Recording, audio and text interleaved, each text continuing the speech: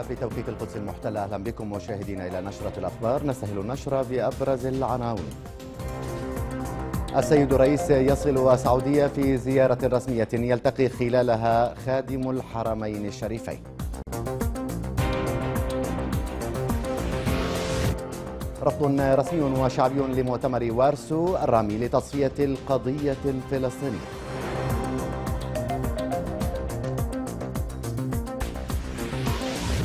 الاحتلال يهدم منزلا في الولجة ويخطر بإخلاء آخر لصالح المستوطنين في القدس.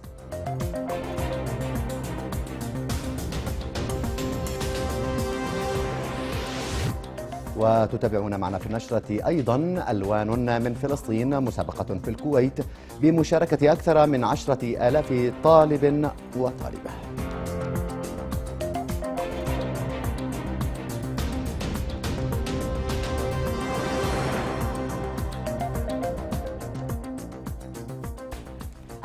مشاهدينا إلى تفاصيل التاسعة من تلفزيون فلسطين.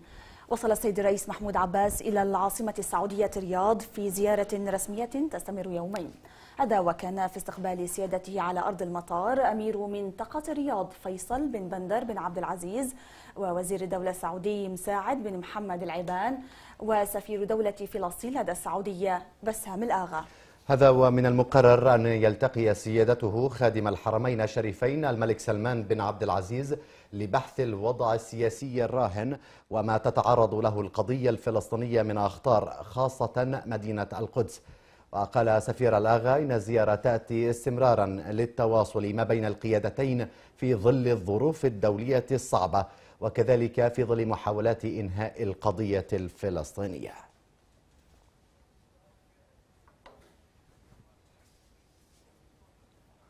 للإضاءة على موضوع زيارة السيد الرئيس إلى المملكة العربية السعودية. ينضم إلينا عبر الهاتف سفير فلسطين لدى السعودية بسام الآغا. أهلا بك. لو تضعنا في تفاصيل هذه الزيارة لا سيما التحديات التي تواجه القضية الفلسطينية على الصعيد السياسي أو الاقتصادي أو حتى الميداني. تأتي هذه الزيارة استمرارا وتواصلا للعلاقة الاستراتيجية ما بين السعودية وفلسطين.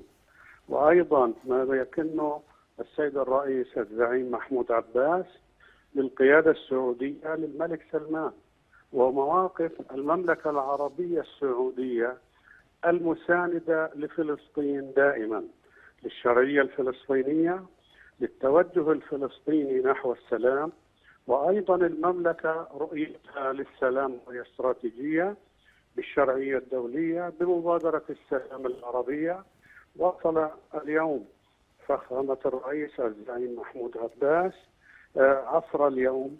والآن أقيمت مأدبة عشاء آه، للسيد الرئيس على شرفه آه، أقامها سمو صاحب السمو الملكي الأمير فيصل بن بندر تقديرا واحتراما. وغد إن شاء الله ستكون اللقاءات بشأن هذه الزيارة إن شاء الله. نعم.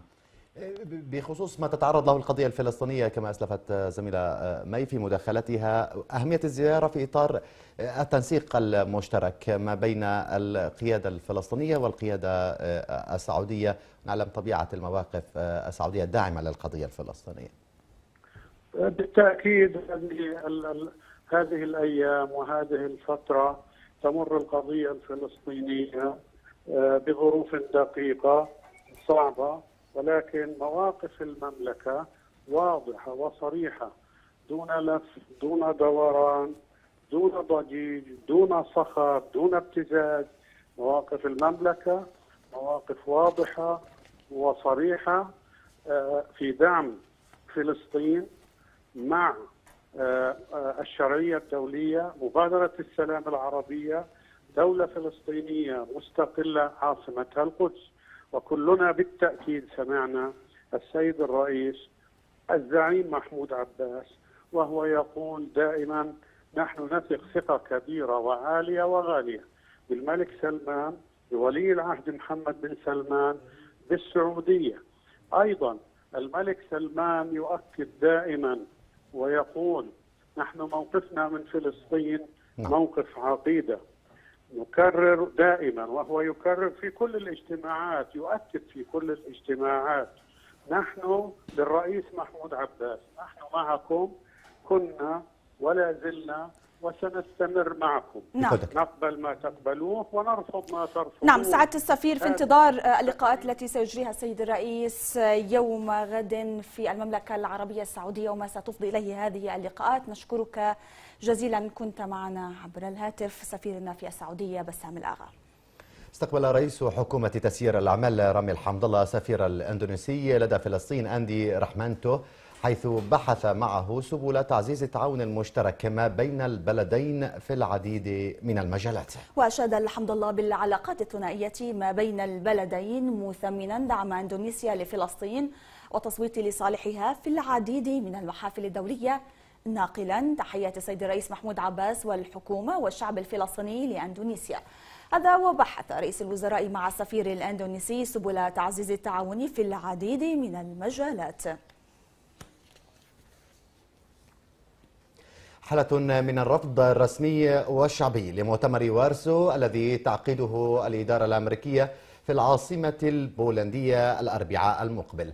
محذرين من تداعياته الوخيمة على مستقبل القضية الفلسطينية ومحاولات الالتفاف على الجسم الشرعي لمنظمة التحرير. التفاصيل مع خالد مطاوع.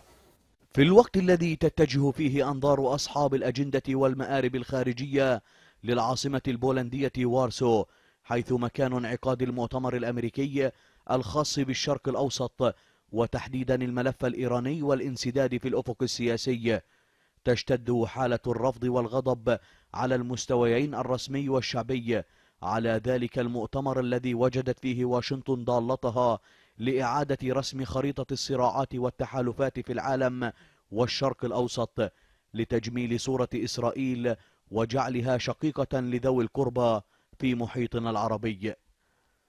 انعقاد مؤتمر وارسو الذي قاطعته القيادة من منطلق درايتها بعواقبه الوخيمة على مستقبل القضية لا سيما وأن فكرته ولدت من رحم مؤامرة أمريكية مدبرة لتمرير صفقة القرن عبر تنصيب دمى إقليمية مرتجفة تشتري وتبيع بحقوقنا الوطنية وتستبيح دماء شعبنا مقدمة بذلك خدمة مجانية لتل أبيب وواشنطن ومنفذة انقلابا على مبادرة السلام العربية وقرارات الشرعية الدولية.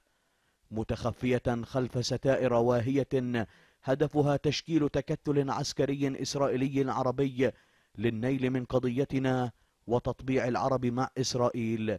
ليس إلا. محاولة واشنطن صنع أجسام بديلة عن منظمة التحرير الممثل الشرعي والوحيد لشعبنا الفلسطيني. ليست إلا مجرد قفزة بالهواء وشيك بلا رصيد. في ظل وجود قيادة حكيمة برئاسة السيد الرئيس محمود عباس الذي يواصل دون كلل أو ملل متجشما عناء الضغوطات والعقوبات لتثبيت هويتنا الوطنية وإسقاط دعائم المشاريع الأمريكية وأذيالهم في المنطقة. للانقضاض على مشروعنا الوطني لصالح تعمير الاحتلال على حساب بقاء بيت المقدس وأكنافه يرزحون تحت نيره. الإدارة الأمريكية وإن تمكنت من جمع عدد من الدول التي لا تمثل إلا نفسها في حظيرة وارسو لترويج أساطيرها وأكاذيبها المغلفة تحت عناوين كدفع المسار السياسي والمنبعثة من عقلية فضلت الانحياز للاحتلال تجلى ذلك بسلسلة الحماقات الأخيرة التي اقترفها ترامب وحاشية المراهقين حوله. مناورة لن يكتب لها النجاح وستولد ميتة ومخرجاتها ستظل حبرا على ورق. لن تتعدى أسوار المدينة. طالما لم تباركها القيادة وشعبنا فهم أصحاب الشأن والقرار فلا صوت يعلو فوق صوتهم. رفعت الأقلام وجفت الصحف. خالد مطاوع تلفزيون فلسطين. فصائل العمل الوطني بدورها أعلنت عن رفضها لمؤتمر وارسو مثمنة قرار القيادة بمقاطعته. هذا وقال عضو اللجنة المركزية لحركة فتح جمال محاسن أنه يأتي في إطار صفقة القرن لتصفية القضية الفلسطينية. فيما أكد أمين عام جبهة النضال الشعبية أحمد مجدلاني أن المؤتمر مشروع أمريكي يهدف إلى حرف البوصلة وتبديل الأولويات في المنطقة. أضاف مجدلاني أن لقاء الفصائل في موسكو رسالة للمجتمعين في وارسو بأن أمن الشرق الأوسط ينطلق من حل عادل وشامل للقضية الفلسطينية. من جانبه اعتبر نائب الأمين العام للجبهة الديمقراطية قيس عبد الكريم أن المؤتمر عنصر من عناصر صفقة القرن الهادفة لحل إقليمي يقوم على التطبيع مع إسرائيل بمعزل عن حل القضية الفلسطينية. هذا وعبر المواطنون عن رفضهم لمؤتمر وارسو الرامي إلى تصفية قضيتنا وحقوق شعبنا العادلة. مؤكدين وقوفهم خلف القيادة وفي مقدمتها السيد الرئيس محمود عباس في صمودها وتصديها لشتى المؤامرات. القيادة الفلسطينية قيادة واعية وعندها تجارب في المواضيع هذه وعارفة أهداف أمريكا وعارفة أهداف المؤتمر. وفيش في المؤتمر خير إلنا أصلا. فيش في المؤتمر خير إلنا لأن معروف تاريخ أمريكا والدول الاستعمارية بالنسبة لقضايا فلسطين بشكل خاص وللمسلمين بشكل عام والعرب. هذا الاسم رايح يضرنا كثير هذا الاسم مش لصالحنا طبعا. صفقة القرن وجميعنا عارفين شو صفقة القرن ما ظنيش حدا بالشعب الفلسطيني مش عارف شو صفقة القرن. طبعا بأيد عدم الحضور لأنه هي الصفقة معروف شو اتجاهاتها وإيش وراها. حاليا الأمريكان هم أولا بيعملوا جهدهم على أساس ينهوا هاي السلطة الفلسطينية. السلطة الفلسطينية هي قائمة من من سنوات. فالسلطة الفلسطينية ثابتة على موقفها. الأمريكان مش معنيين يكملوا بهي السلطة. فبدهم يوجدوا بديل لهي السلطة فعشان هيك عملوا مؤتمر وارسو الدولي. فإحنا آه، خلف آه، سيادة الرئيس قلبا وقالبا ومن سانده ضد هاي الهجمة الشرسة اللي بتكون فيها الإدارة الأمريكية وتحديدا إسرائيل. هلأ مبدئيا إحنا كفلسطينيين رافضين فكرة صفقة القرن كلها من أساسها وإنهم يعرضوا على هاي الملامح برضو إحنا يعني إنهم يعرضوها بالعلن برضو إحنا ضدها. لا يحق لهم إنهم يكشفوا عن هذا بنود صفقة القرن بعدم وجود ممثل عن الشعب الفلسطيني. لأن يعني أصلا القضية هي قضية الشعب الفلسطيني. ما دام عدم وجود ممثل هي تعتبر لاغية أو لا شرعية لها. كما شدد محللون وشخصيات أكاديمية ووطنية على دعمهم لموقف القيادة الرافض للمشاركة في مؤتمر وارسو مؤكدين أن المؤتمر يهدف لتصفية القضية الفلسطينية. وللمتابعة في هذا الموضوع ينضم إلينا عبر الخط الهاتفي الدكتور يونس عمر رئيس جامعة القدس المفتوحة وعضو المجلس الثوري لحركة فتح. دكتور عمر مساء الخير. أهلا مرحبا بك. معنا إلى نشرة التاسعة. في ظل هذه الظروف الحساسة والدقيقة التي تمر بها القضية الفلسطينية تحديات كبيرة دور النخب الفلسطينية الأكاديميين الفلسطينيين كيف تنظر إلى دورهم؟ ويعني في تحدي كل ما يحاك عمليا لفلسطين والقضية الفلسطينية. أولا مساء الخير لكم وللمشاهدين. آه هذا المؤتمر هو عبارة عن تسويق لصفقة القرن التي تدعو لها الإدارة الأمريكية. وهذه الإدارة التي أفلست في كل ما آتت من تصرفات ومن إجراءات ومن إعلانات متماهية مع الاحتلال الإسرائيلي آه، أمام إصرار الشعب الفلسطيني بكامل فصائله وشرائحه على رفض هذه الصفقة وإصرار القيادة الفلسطينية على رأسها الأخ الرئيس أبو مازن بكل آه، قوة آه، وقوفا في وجه هذه الصفقة لرفضها نعم. خاصة وأن هذه الصفقة تسعى لتصفية القضية الفلسطينية وحرمان شعبنا من تقرير مصيره كسائر الشعوب آه، في الدنيا إذا أن شعبنا يتعرض لأشرس وأطول احتلال.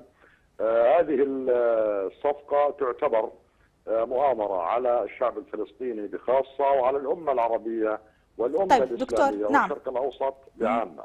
طب دكتور موضوع الالتفاف على الجسم الشرعي لمنظمة التحرير الممثل الشرعي والوحيد للشعب الفلسطيني ليس بالمرة الأولى الذي يحدث هذا الموضوع في صفقة القرن وقبلها ووصولا إلى مؤتمر آه، وارسو.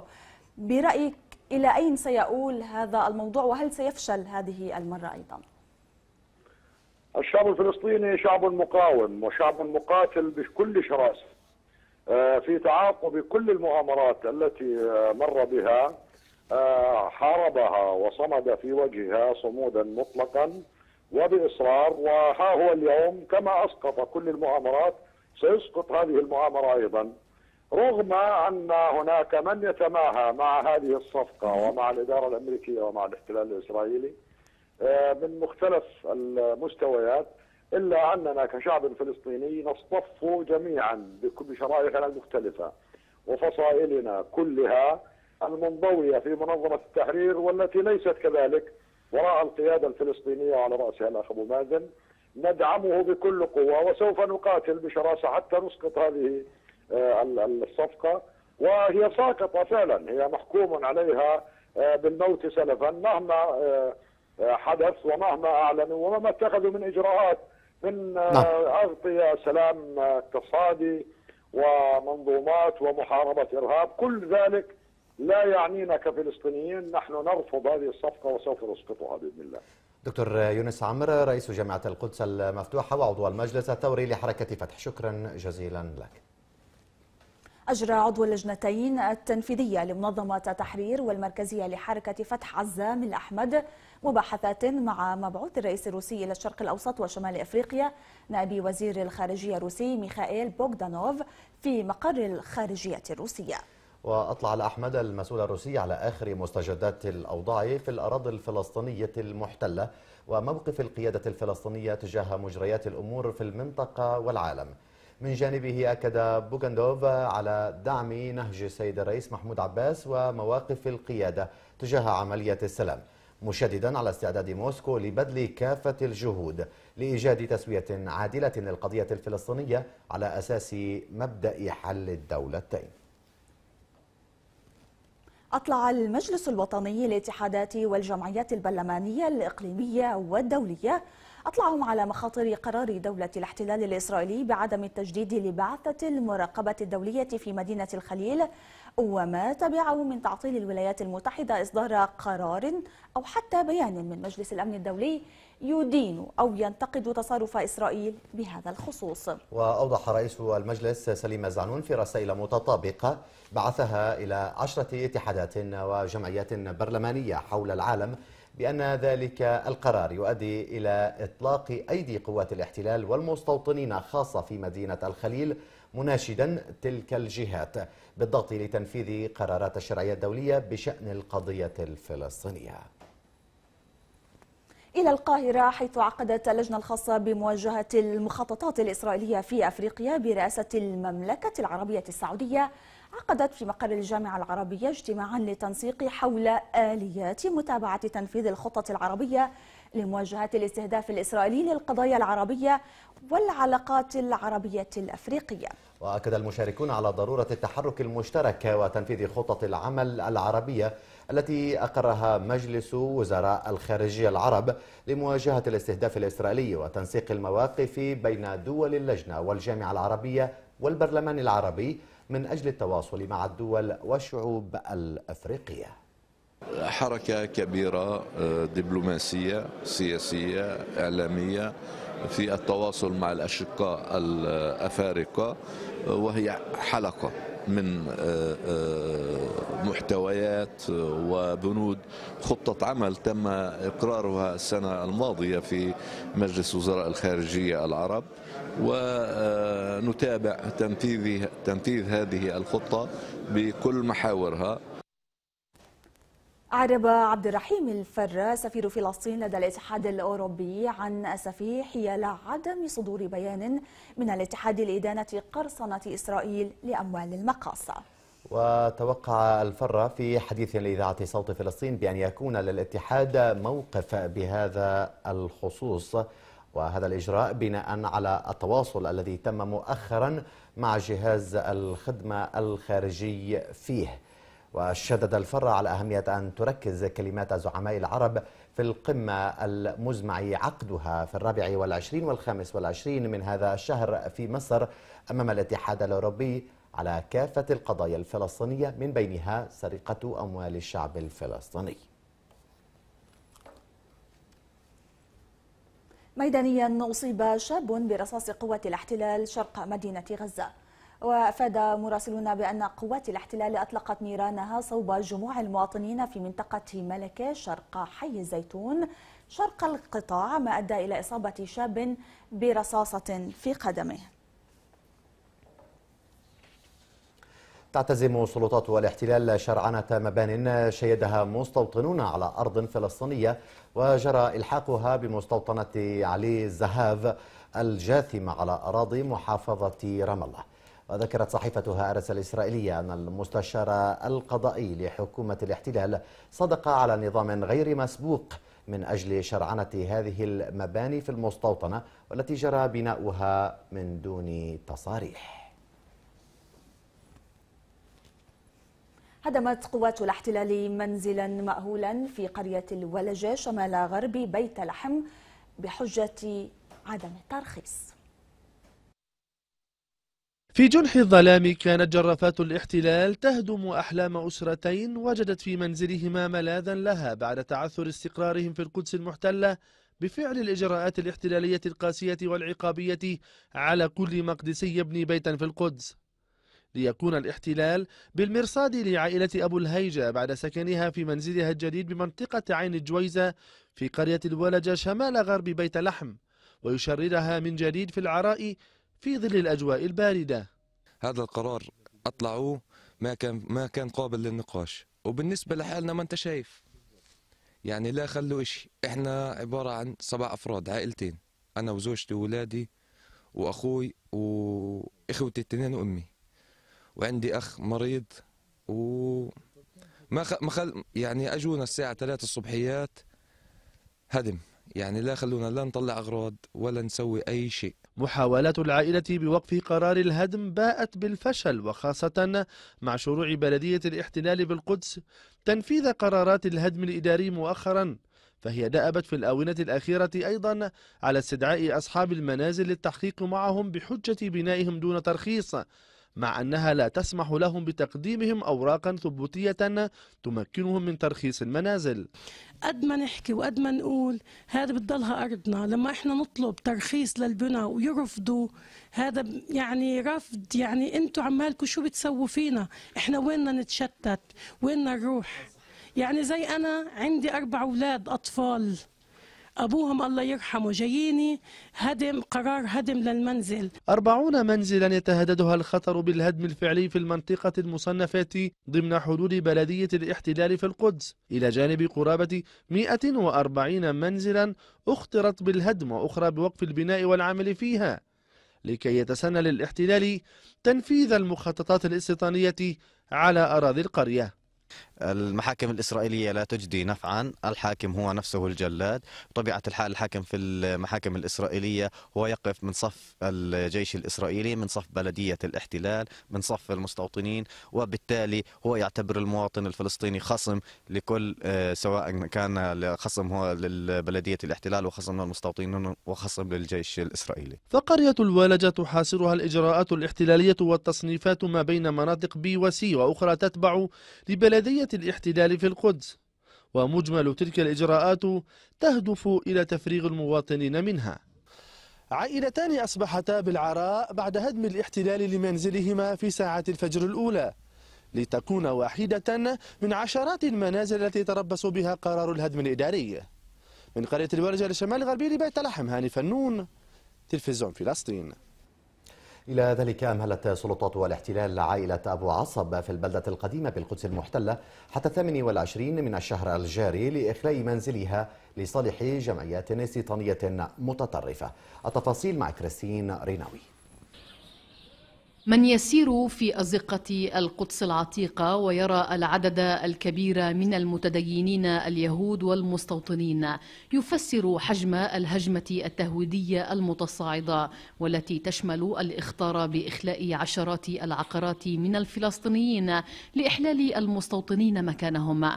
عائلة أبو عصب كان من المفترض أن يكون هذا آخر يوم لها في بيت تقطنه منذ سبعين عاما.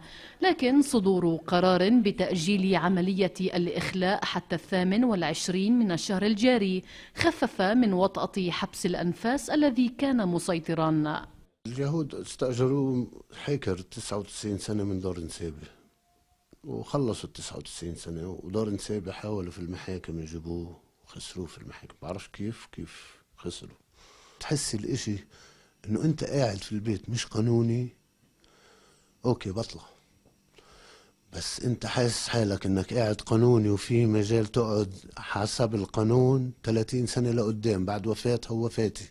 لازم ابني يسلم البيت قانونيا. في قانون إسرائيل أنا بحكي له والقانون الأردني كمان بيحكي هيك. إنه الجيل الثالث بعد الجيل الثالث بتسلم. عندك جيل ثاني وجيل ثالث. موجودين. يدرك حاتم أبو عصب أن قضيته سياسية ولا وزن للقانون المفصل أصلا على مقاصي مخططات التهويد والإحلال. مستعد أموت كيف بقول لها يعني ما بقولهاش كذب مستعد أموت عشانه. زي أكنه رايح مني شو بدي أقول لك؟ رايح مني كنز كبير. تسعة أفراد من عائلة أبو عصب يتهددهم اليوم الإخلاء من عقار يقع بين يدي المقدسات الإسلامية والمسيحية حتى إن مهدي ابن الخمسة عشر عاما يتجنب التفكير في لحظة الإخلاء فكيف سيكون حال عائلته بأكملها؟ أنا بعز علي البيت كتير يعني انولدت فيه وعشت فيه 15 سنة وقعدت حبس منزلي عشرة أشهر فيه بكفي إنه الواحد لما يفيق الصبح يتطلع وراه قبة الصخرة. إخلاء كل عقار يقطنه فلسطينيون في البلدة القديمة. يشكل حجرا جديدا يتهاوى. يسعى من خلاله الاحتلال إلى سقوط المدينة والسيطرة عليها لفرض وقائع تمس بهويتها وأهلها وكل ما يخصها. كريستين ريناوي تلفزيون فلسطين القدس القديمة. من القدس إلى الخليل حيث جرفت قوات الاحتلال طريقا عادت تأهيلها هيئة مقاومة الجدار والاستيطان هذا الطريق تربط منطقة شعب البطم بمسافر يطا جنوب المحافظة. ضمن السياسة التي تنتهجها حكومة الاحتلال لتضييق الخناق على المواطنين في مسافر يطا جنوب الخليل ها هي آلياته وجرافاته المعززة بالعشرات من الجنود تغلق أحد أهم الطرق المؤدية إلى المسافر والتي تربطها بمنطقة شعب البطم. قوة الاحتلال المرة الثالثة بتستهدف هذا الطريق وهذا الطريق شريان حياة بالنسبة لتجمعات مسافر يطا الواقع في قلب ما يسمى منطقة إطلاق النار 918 طبعا هم في هذا الإغلاق هم قاعدين بسكروا الطريق على حوالي 1800 إنسان. آه، هي الطريق الأقرب والأسرع بالنسبة لسكان المسافر. آه، فقبل أسبوعين آه، سكروها ورجعوا اليوم كمان سكروها والعام الماضي في شهر 8 سكروا هاي الطريق. طبعا كل هاي الإجراءات التعسفية اللي بيستخدموها طب- طبعا من الناحية القانونية يعني إحنا مقدمين لها طلب ترخيص وكذا بس هم عندهم هدف واحد هم ال- ال- الدولة الإسرائيلية بكل أجهزتها اليوم تشتغل تحت إمرة المستوطنين. هذه الطريق التي تم ترميمها مؤخرا من قبل هيئة مقاومة الجدار والاستيطان لتسهيل تنقل المواطنين ما بين مساكنهم وحقولهم. وكان الاحتلال قد جرفها عدة مرات في السابق وها هو اليوم يغلقها بشكل كامل على المواطنين. ما يسبب مشكلة كبيرة لديهم بسبب عدم قدرتهم على الوصول إلى مناطق سكنهم. هاي أسهل طريق للمواطن للوصول من خلال إذا كان في حالات طارئه لاسعاف أو آه، وصول المياه أو الآلاف. فهاي الطريق هي أسهل طريق. وطبعا طريق لقوها بعد دعوة مؤسسة ريجافيم هي مؤسسة آه، صهيونية متطرفة. وهي بتحاول آه، تلغي وجود الفلسطينيه في هاي المنطقة. وين في وجود فلسطيني؟ وين في أي بناء للفلسطيني؟ بتبعث الجيش وبترفع دعاوي ضد الجيش إنه ينفذ هاي الأوامر. وكان الاحتلال قد منع شق العديد من الطرق في هذا المكان كما منع المواطنين من البناء. إضافة إلى هدم العديد من المساكن والمنشآت مدعيا أن هذه المنطقة تتبع إلى حكومة الاحتلال أو منطقة إطلاق نار حسب تعبيره. يستمر الاحتلال بسياسة التضييق على مسافر يطا حتى وصل به الأمر إلى محاصرتها وتقطيع أوصالها. أما الهدف فهو تهجير سكانها والاستفراد بها لصالح المخططات الاستيطانية. من مسافر يطا جنوب الخليل محمود فراش تلفزيون فلسطين. قصف الاحتلال بعدة قذائف منشأة في مدينة القنيطرة السورية. وأفاد التلفزيون السوري أن القصف الإسرائيلي استهدف مشفى القنيطرة المدمر ما أدى إلى أضرار مادية في محيطه. وأفاد مصدر عسكري سوري أن الجيش السوري أعلن رفع الجاهزية إلى الحالة القصوى واستنفر الوحدات المرابطة على حدود الجولان المحتل. أما الآن فإلى الموجز الاقتصادي مع زميلة منتهى خليل. مساء الخير منتهى. مساء الخير منتهى. مساء الخير مي وخميس.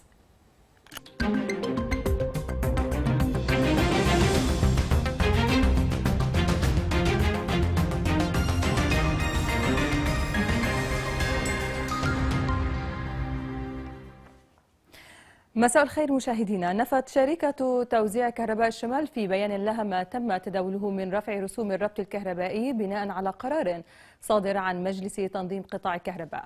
وأكدت الشركة أنه لا صحة لما يتم تداوله حول رفع أسعار الربط مشيرة إلى أن ما تم هو تخفيض رسوم معظم أنواع الاشتراكات أو بقاؤها كما كانت عليه سابقا. وقالت الشركة بخصوص البند المتعلق برفع رسوم الاشتراك الخاص بالاشتراكات المنزلية المستقلة والتي تقرر رفع رسومها إلى 3000 شيكل و 3200 شيكل. وسينظر في طلب إبقاء الأسعار كما كانت عليه سابقا وإقراره في نهاية الأسبوع الحالي. عقدت سلطة الطاقة والموارد الطبيعية في مقرها اليوم اجتماعا ناقش برنامج حماية الإيرادات الذي يأتي ضمن مشروع كفاءة الطاقة الهادف إلى تحسين وتطوير أداء المؤسسات العاملة في قطاع الكهرباء في فلسطين. ويهدف البرنامج الممول من البنك الدولي وصندوق المانحين بقيمة 23 مليون دولار أمريكي لزيادة فعالية شركات توزيع الكهرباء في الضفة الغربية وغزة من خلال تركيب 20 ألف عداد ذكي. وفي أخبارنا المحلية أيضا استقبلت مدينة أريحة الصناعية الزراعية المنسق الخاص للأمم المتحدة لعملية السلام في الشرق الأوسط السيد نيكولاي مادينوف والسفير الياباني لدى فلسطين السيد تاكيشي أكوبا وعبر مادينوف عن استعداده لدعم وتسهيل عمليات التطوير والتشغيل والتصدير لمنتجات مدينة أريحة الصناعية الزراعية. أود أولا أن أشكر الحكومة الفلسطينية وحكومة اليابان على تعاونهما في إنجاز هذا المشروع. فقبل أربع سنوات هذه المنطقة الصناعية كانت حلما واليوم هي حقيقة. وهي مهمة لنا في كيفية إزالة العوائق لدعم الفلسطينيين في تصدير منتجاتهم بما يسهم في دعم الاقتصاد الوطني وبناء مؤسسات الدولة. نتطلع إلى دعم من السيد المبعوث الأمين العام للأمم المتحدة ليقوم بفعلا دعم المدينة الصناعية للتعدي هذه العقبات وخاصة في حركة البضائع والنقل مع الأردن وبعد الأردن إلى الدول العربية بالطبع. تواجدنا اليوم في أريحة ما هو إلا دليل على الأمق الاهتمام من كل الأعضاء من المجتمع الدولي بما فيها طبعا الأمم المتحدة. ورسالتنا من تنفيذ هذا المشروع الرائع هو أن اليابان دائما تقف إلى جانب شعب الفلسطيني الصديق. وقع رئيس سلطة المياه مازن غنيم مع شركة ألكي للإنشاءات والصناعة والتجارة التركية عقدي التنفيذ والتشغيل والصيانة الخاص بمحطة التحلية المركزية في الخليل بقيمة 36 مليون دولار. يأتي هذا المشروع بتمويل من الوكالة الفرنسية للتنمية والاتحاد الأوروبي والبنك الدولي بهدف حل جذري ومعالجة مشكلة الصرف الصحي التي تعاني منها محافظة الخليل عامة ويطا وجنوب الخليل خاصة. هذه المحطة هي ستخدم بالتأكيد مدينة الخليل ومن ثم كافة محافظة الخليل. إحنا بنأمل إنه يكون في هناك رفع الضرر عن كافة أبناء شعبنا لأنه الضرر الكبير جدا وخاصة في منطقة يطا والمناطق جنوب دورة في عندنا السيل اللي بيقطع كل هذه المناطق وأدى إلى عملية دمار للأراضي للمواقع اللي موجودة هناك إلى أيضا تهديد للصحة والسلامة العامة والبيئة بشكل عام. العقد اليوم طبعا إحنا بنأمل إنه يبدأ التنفيذ مباشرة وبنأمل إنه هذه المحطة تعمل بأسرع فترة آه، ممكنة حتى نستطيع يعني أن نرفع آه، هذه المعاناة عن أبناء شعبنا. مشاهدينا كانت هذه أبرز الأخبار الاقتصادية على الصعيد المحلي وعودة إلى الزملاء. شكرا منتهى. افتتح وزير شؤون القدس عدنان الحسيني عددا من المشاريع في تجمع جبل البابا البدوي في بلدة العزرية جنوب شرق مدينة القدس المحتلة لتعزيز صمود المواطنين. هناك. دعما وتعزيزا لصمود المواطن في أرضه افتتح وزير شؤون القدس عدنان الحسيني مشروع عيادة صحية ومرافق خدماتية أخرى لتجمعات جبل البابا البدوية شمال شرق بلدة العزرية. المنطقة الشرقية من القدس مناطق كلها مستهدفة للاستيطان. في مرحلة من الاستيطان قد تمت والآن يراد استكمال هذه المرحلة حتى يعزل القدس نهائيا عن الجسم الفلسطيني. والمناطق هذه اللي هي مناطق C و E1 بالتفصيل من مناطق C آه، يسكن فيها معظمها اخواننا تجمعات البدو.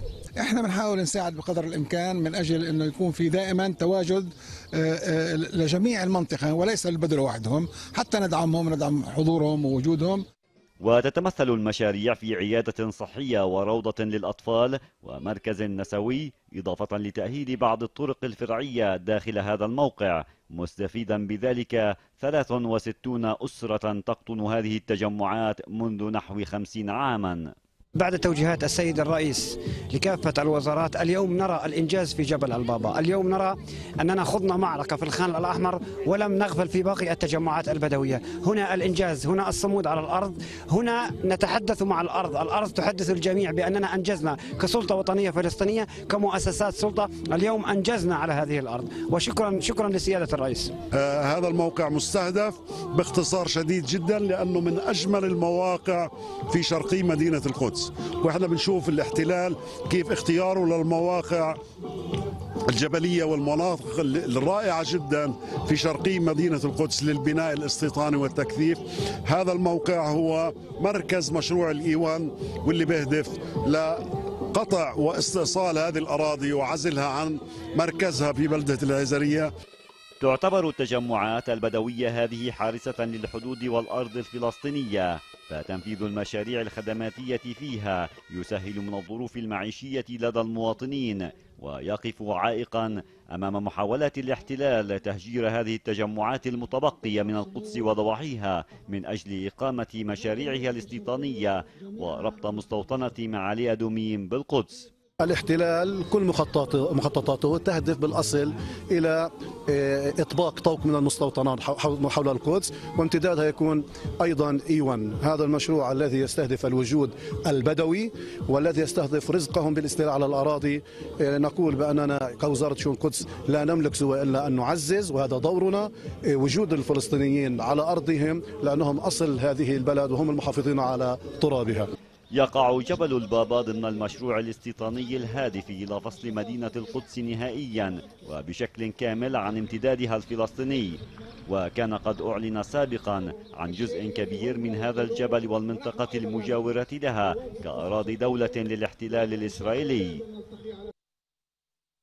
الآن نتوقف مع نشرة رياضية والزميلة ريم صلاح وأخبار الملاعب. مساء الخير مساء الخير يا ريم. مساء الخير.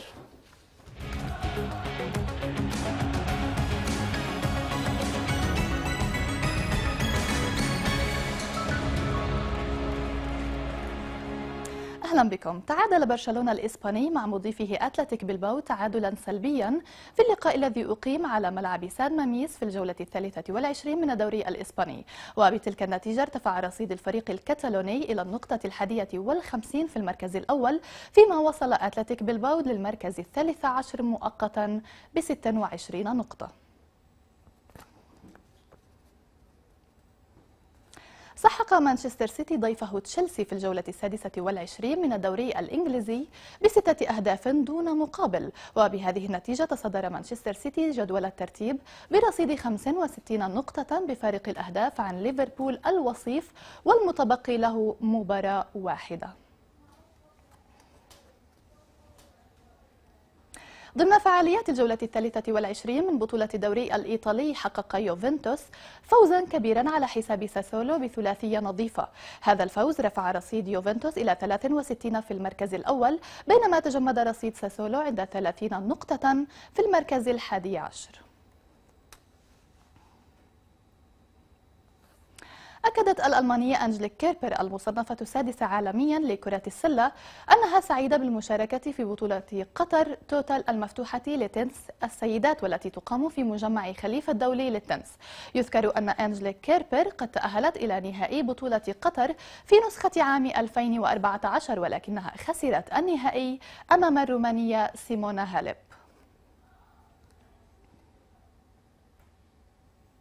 نهاية نشرتنا الرياضية لهذه الليلة. شكرا على المتابعة وعودة الآن إلى مي وخميس. شكرا ريم شكرا. في المحافظة الجنوبية يحترف أكرم صوراني الكوميديا الساخرة بكتاباته وأشعاره التي تمزج ما بين السخرية والألم باستخدامه تفاصيل الحياة في غزة ومعاناة أهلها. المزيد مع فؤاد جرادة يدخل إلى مقهاه المفضل يتبوأ فيه مقعدا في زاوية هادئة. يستحضر ما عايش من واقع صاخب الذي تعج به غزة. يحور أغنية ينظم شعرا أو يخط نثرا. مستوحيا من شظف العيش سخرية ربما تبكي منها ضاحكا أو تضحك منها باكية. وعلى أي حال فقد استطاع أكرم أن يجعل من حياة المواطنين مادة لإبداعه الخاص. تيجي من آه، جلسة في عزا آه، سيارة وأنا راكب على الخط. في ديوان في ورشة عمل ورشة هبل بتطلع الكلمات. بالضرورة بيعبر عن الواقع المعاش. يعني واقع غزة المأزوم المهزوم المقسوم. هذا الرجل الذي احترف الكوميديا السوداء تماما كما أزمات البقعة الصغيرة التي يعيش فيها اتخذ من العالم الافتراضي منصة لترويج كلماته والحروف. له متابعون ينتظرون كتاباته بفارغ الصبر. كما ويجيد تسويق أعماله في العديد من الندوات والمهرجانات. يضع إبهامه على ألم المسحوقين. يصف الواقع الغليظ بدقة ورغم ذلك تستسيغه أذان السامعين. في غزة مررنا على دار العجيب فردنا عن الدار قانون الأراضي وسورها. فقلت لنفسي ربما هي نقمة فماذا ترى في غزة حين تزورها؟ ترى كل ما لا تستطيع احتماله. إذا ما بدت من جانب الكرب كروبها وما كل نفس حين تلقى حبيبها تصر وغزة قطع الكهرباء يضيرها. هو لا يطرح نفسه ككاتب أو شاعر أو حتى راو. هو فقط يتنقل من أزمة لأزمة ينسج تفاصيلها برؤيته الخاصة. يفرغ ما بصدره من ضيق وحرج ولعله أيضا يريح صدور المأزومين. يعالج العذابات بضحكات مزجت بعبرات ساخنة وكلما ارتفعت آهات المعذبين جادت قريحته بمزيد من الإبداع. فغزة بتناقضاتها وهمومها تبقى عاصمة الإلهام لمن لا إلهام له. فؤاد جرادة تلفزيون فلسطين قطاع غزة. إلى الكويت وتحت رعاية وزير التربية والتعليم العالي الكويتي حامد العازمي تم توزيع الجوائز على طلبة الفائزين في المسابقة التي أقيمت تحت شعار ألوان من فلسطين. هذه المسابقة شارك فيها أكثر من عشرة آلاف طالب وطالبة. بريشة الفن. هكذا تبدو فلسطين في عيون رساميها الذين لم يزوروها من قبل لكنهم أبوا إلا أن تكون الصورة عالقة في أذهانهم أكثر من عشرة آلاف طالب وطالبة علقوا لوحاتهم على جدران المنافسة وعلقوا معها آمالهم على زيارة فلسطين قريبا. هذه المسابقة هدفت إلى أن نطلع كل من هم بهذا الجيل الصغير على ما هي فلسطين. هناك عدد كبير من الناس الذين لم لم يزوروا فلسطين ومن ضمنهم فلسطينيين لم يتمكنوا من زيارتها. وبالتالي كانت هذه المسابقة آه، هي مهمة جدا في أن يتعرف آه، أبناء عدد كبير من الجنسيات المقيمين على فلسطين وماذا هي وما هي وما هي فلسطين.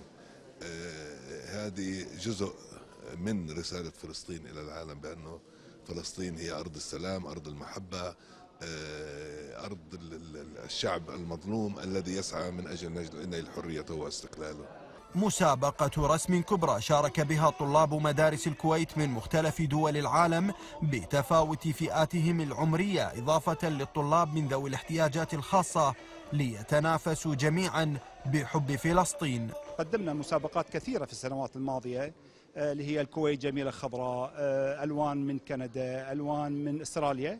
وهذه آه، لها خصوصية حقيقة يعني ألوان من فلسطين كان لها خصوصية وفرحة كبيرة لما استدعينا أن نكون يعني في التحكيم وخاصة أنا ماسك لجنة التحكيم صار لي أكثر من 12 سنة في المسابقات السابقة.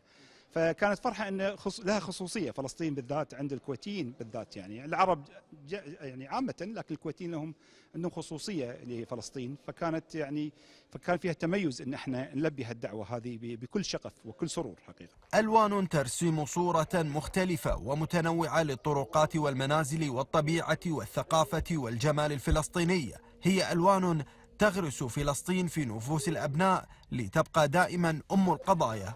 فالرسم في الصغر كالنقش على الحجر.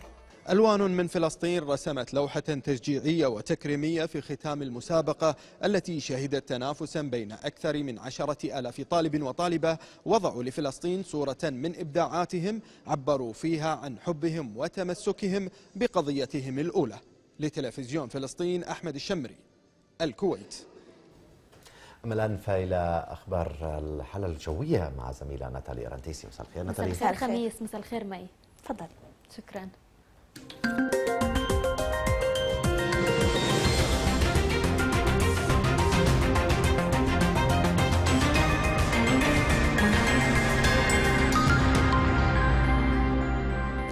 أهلا بكم مشاهدينا الكرام في أحوال الطقس. انحسر المنخفض الجوي الذي ساد البلاد في الفترة الماضية حيث تكون الأجواء هذه الليلة غائمة وباردة وتكون الرياح جنوبية غربية إلى غربية خفيفة إلى معتدلة السرعة تنشط أحيانا. وبالنسبة ليوم غد فترتفع درجات الحرارة بشكل طفيف وتبقى الأجواء باردة نسبيا إلى باردة. هذا ومن المتوقع أن ترتفع درجات الحرارة بشكل ملموس يوم الأربعاء قبل أن تعاود انخفاضها يوم الخميس. أما الآن ننتقل وإياكم مشاهدينا الكرام إلى درجات الحرارة المتوقعة ليوم غد في بعض المدن الفلسطينية. حيث سنبدأ من العاصمة القدس المحتلة فمن المتوقع أن تسجل 14 درجة مئوية. ننتقل إلى رام الله 13 أما نابلس ف 15 جنين وطوباس 19 طول كرم 18 قلقيلية أيضا 18 درجة مئوية أما سلفيت ف 14 أريحة 23 بيت لحم 14 الخليل 13 والآن ننتقل وإياكم مشاهدينا الكرام إلى المحافظات الجنوبية. ونبدأها من غزة 19 دير البلح 20 خان يونس 19 وأخيرا رفح 20 ومن درجات الحرارة في محافظات الوطن إلى بعض العواصم العربية والعالمية.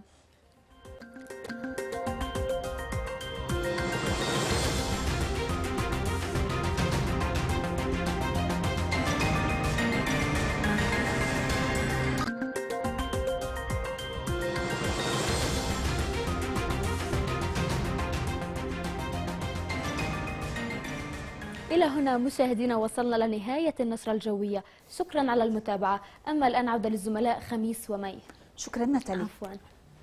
في الختام مشاهدينا نذكر بأبرز العناوين.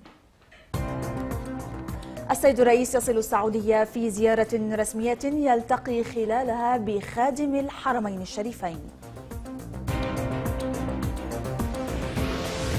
رفض رسمي وشعبي لمؤتمر وارسو الرامي لتصفية القضية الفلسطينية.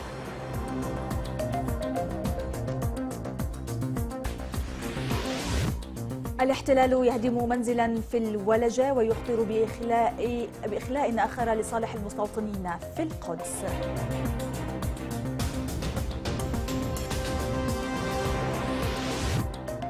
وألوان من فلسطين مسابقة في الكويت بمشاركة أكثر من عشرة ألاف طالب وطالبة.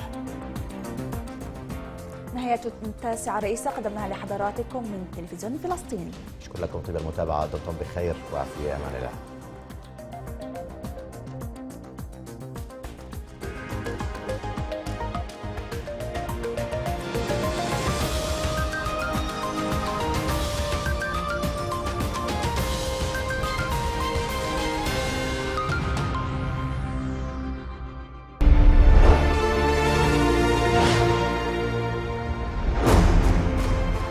العاصمة الألمانية برلين ساندرا المصري تلفزيون فلسطين.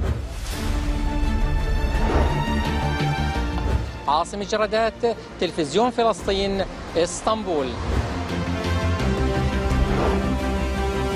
من أمام مقر الأونروا في بيروت زنا عبد الصمد. تلفزيون فلسطين. من مخيم الرشيدية أقرب مخيم فلسطيني في لبنان سارة الهباش تلفزيون فلسطين. لتلفزيون فلسطين أحمد الشمري الكويت. من أمام الاتحاد العام التونسي للشغل في العاصمة التونسية لتلفزيون فلسطين شادن غنامة هارون عمايرة تلفزيون فلسطين. مدينة شيكاغو الكراجة تلفزيون فلسطين. من أمام مقر رئاسة الوزراء الأردني سندس أحمد. لتلفزيون فلسطين أروى حماد عمان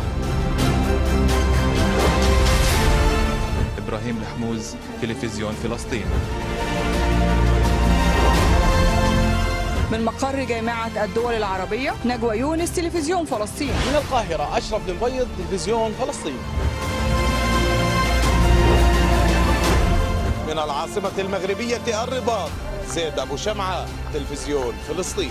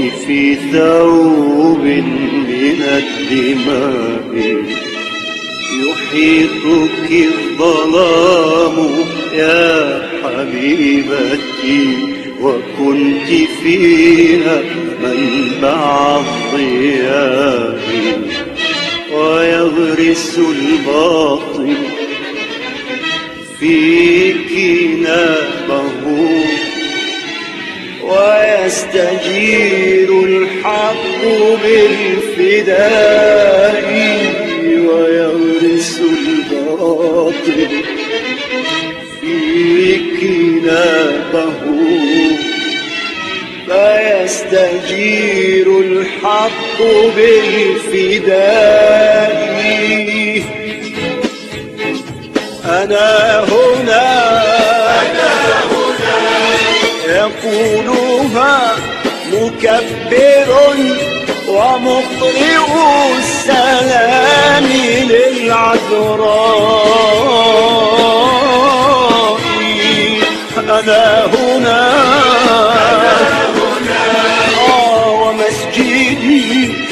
لشاهد وهذه كنيستي إزائي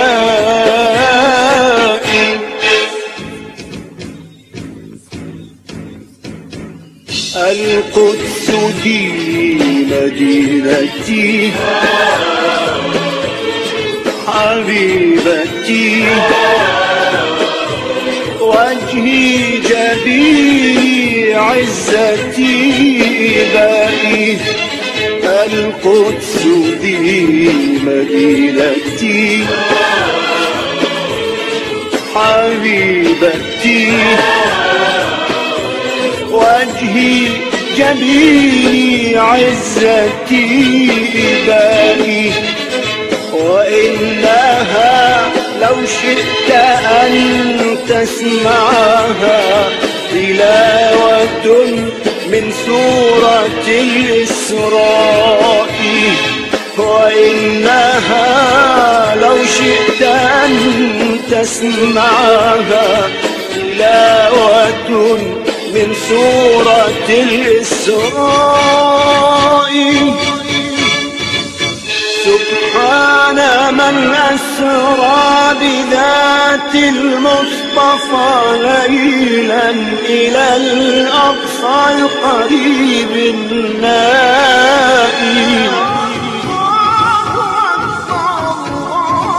ذاك الذي ما حوله مبارك هذا كلام الله لا غنائي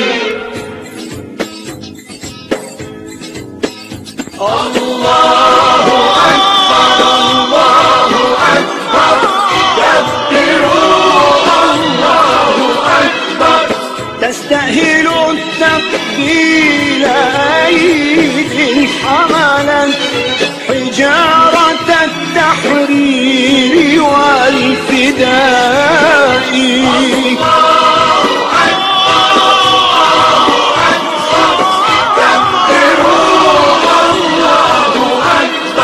هنا فلسطين وهذه قدسنا كالروح أغلى ما لدى الأحياء حملت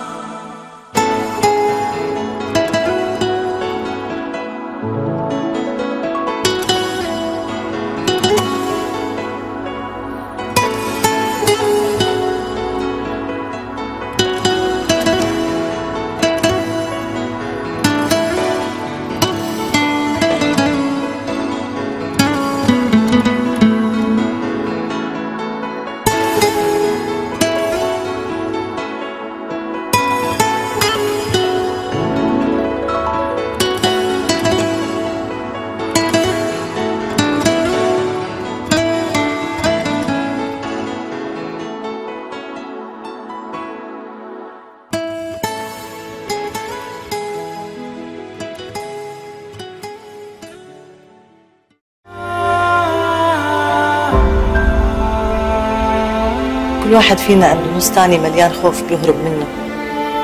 حتى إنه إحنا مرات نتخبى منه جواته. عايشين حياتنا بوجهين.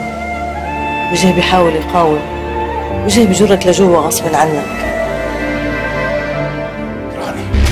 ابني وين يا سالم؟ وسماح بن جابر شو اللي جابها عليك القضية سجلت ضد مجهول. يعني عزيز ما بلغ عني؟ والله لدوسك الحلوة في السوق الكبارية يوم يتكلمون اللي مثلك ينطمون. ويكون في علمك أني أنا بسافر وقت ما أبغي وبروحي بعد. ولك بتفكري واحدة زيك ممكن تضحك علي. والله لا اقطعك تقطيع سيف ما مرت علي. سيف حبيبي.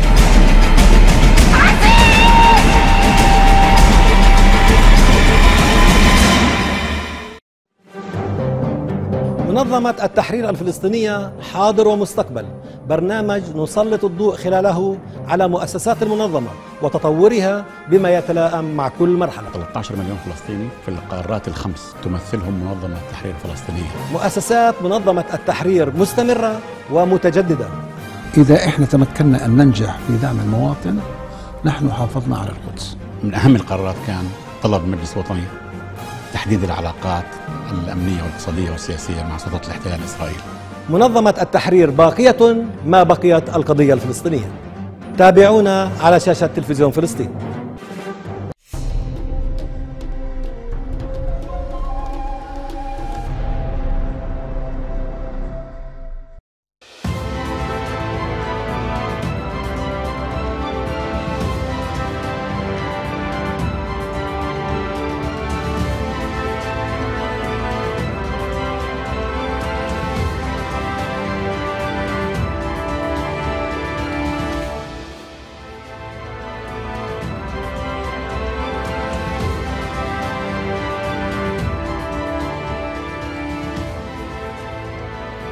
أسعد الله أوقاتكم مشاهدينا الكرام وأهلا بكم إلى هذه الحلقة من برنامج ملف اليوم والتي نتحدث من خلالها في محاور ثلاثة.